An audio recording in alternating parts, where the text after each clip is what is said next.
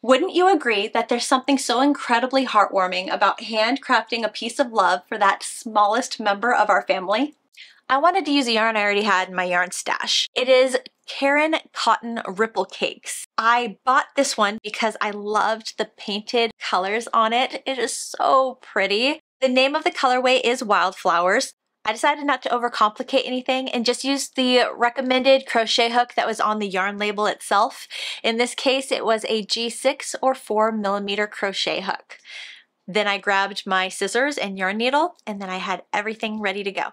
I have a lot of crochet pattern books. I just love them. They provide me with so much inspiration. Recently I was playing with a pattern from the book Crochet 101 Stitches for Afghans that I really enjoyed. I thought that it was fun and fast, that it was easy, and that it would make a really great blanket project every single time I jump into a project without swatching it first, I run into some kind of issue. In this case, I have a very limited amount of yarn. I only have four skeins of this beautiful yarn to use. So I want to know right off the bat if I can even use it for one, and then if I can use it, how many stitches I will need to have in each row and how many rows I will be capable of making for a finished project. When making your swatch, it is super important that you use the same materials and tools to make the swatch that you intend to use to make the blanket. That way all of the dimensions and everything is on point. In this particular pattern, there is a multiple stitch count requirement, so I also need to take that into consideration. The multiple stitch count requirement for this pattern is a multiple of 4 plus 2. Now that we've done everything for the swatch, we have an idea of how many stitches will be in each row, how many rows to make, and approximately how much yarn we will need to make the project. Now that I've figured out all of the information, I know that my blanket will be able to measure 40 inches wide by 50 inches tall. Now I'm ready to begin. Starting with a slip knot, insert your crochet hook and we are ready to go. For this 40 by 50 inch baby blanket, begin by chaining 130 chains. If you are wanting to make a different size blanket, please refer to the pattern. For row one, we're gonna go ahead and make one double crochet stitch in the third chain from our crochet hook. The skipped two chains do count as your first double crochet stitch. Then continue making one double crochet stitch in every chain all the way across. You should end row one with a total of 129 stitches. For row two, we will begin by chaining two and then turning our work. This chain two does count as our first double crochet stitch and will take that first stitch space. You will then continue making one double crochet stitch in every stitch all the way across. At the end of row two, you wanna make sure you end with a total of 129 stitches.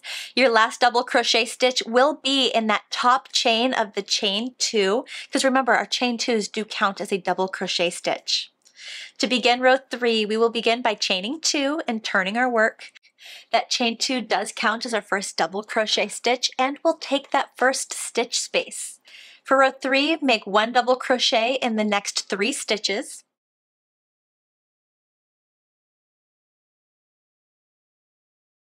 And then we will do a twist stitch. Let me show you how it's done. We're going to start by yarning over and inserting our crochet hook from front to back of that post, and then yarn over and pull level. Then yarn over again, insert our crochet hook front to back, yarn over, pull level, and then yarn over, pull through the first four loops, then yarn over, pull through the last two loops.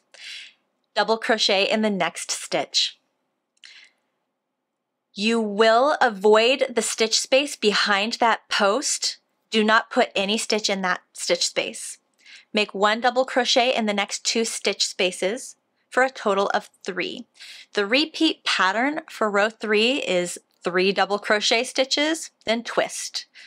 Yarn over, insert crochet hook, yarn over, pull level, then yarn over, insert crochet hook, yarn over, pull level, yarn over, pull through the first four loops, then yarn over, pull through the last two loops for a twist stitch, and three double crochet stitches.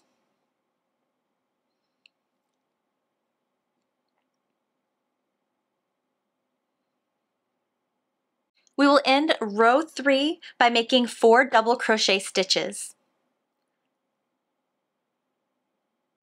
For row four, we start by chaining two and then turning our work. The chain two still counts as a double crochet stitch and will take that first stitch space. Row four, all we're doing is making one double crochet stitch in every stitch all the way across. For every even number row, that's all we're doing, is just one double crochet stitch in each stitch space all the way across. Ending row four with a total of 129 stitches. For row 5, we begin by chaining 2. We will make one double crochet stitch in the next stitch before making our first twist. Again with the twist, we're going to yarn over and insert a crochet hook from front to back, yarn over and pull level, then yarn over, insert front to back, yarn over, pull level, then yarn over, pull through 4, yarn over, pull through 2. Then make one double crochet stitch in the following three stitch spaces. Repeat this pattern of three double crochet, then twist stitch, three double crochet, twist stitch, all the way across for row five, ending row five with two double crochet stitches. It is row five that the twist stitch is offset from row three, so these twists are not aligned with each other. They're more of a zigzag. Ending row five by making a double crochet stitch in that top chain there. Great. Look at how pretty that zigzag pattern looks. I love it. For row six, chain two and turn our work. Row six is just an even number row, which means one double crochet stitch in every stitch space all the way across. Remember that first chain two takes the first stitch space. Let's go ahead and look at the other side. Chain two, turn our work. Oh my gosh, look at all those twist stitches. So the repeat pattern for this project is just repeating rows three through row six. You're going to want to end on a row four or six pattern where there's just a clean one double crochet stitch in each stitch space to end the project.